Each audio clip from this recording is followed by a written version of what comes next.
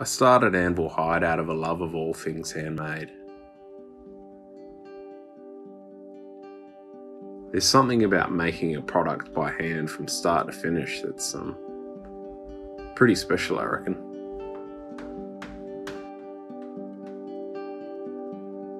There's a care and attention to detail there that you just don't get much these days.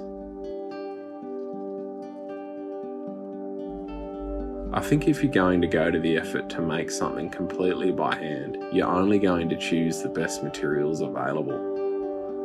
To cut corners like you might on a product coming off the factory line, it's just not worth it to me.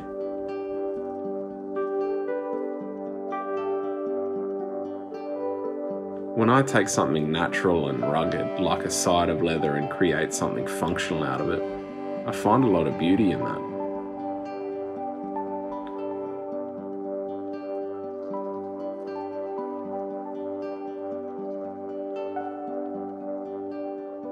I think that's what drew me towards using leather in the first place.